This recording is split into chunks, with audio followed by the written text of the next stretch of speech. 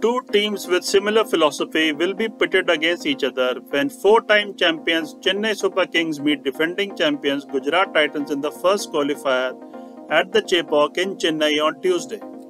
The biggest headache for Mahendra Singh Dhoni will be how to tackle Shubman Gill, who almost single-handedly knocked out Royal Challengers Bangalore with a century that overshadowed Virat Kohli's ton. For CSK, a good start by Devon Conway and Ruturaj Gaikwad will be important. Both have provided brisk and substantial starts, but the CSK middle order ha- hasn't exactly got going. With GT bowling led by Mohammad Shami and Rashid Khan, things won't be easy for the home team's batters.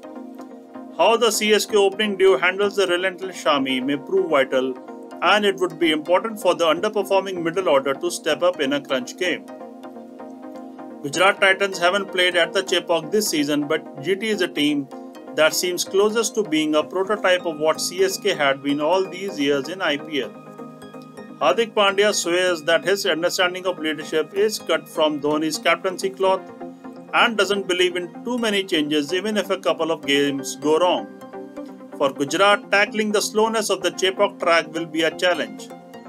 The pitches at Chepauk so far have been a bit up and down, with a few th- with a few being slow in nature, while some have been good to bat on.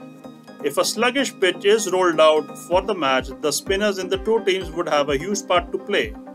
If CSK has Ravindra Jadeja, Moeen Ali, and Theekshana, the Titans boast of a lineup that includes Rashid and Noor Ahmed.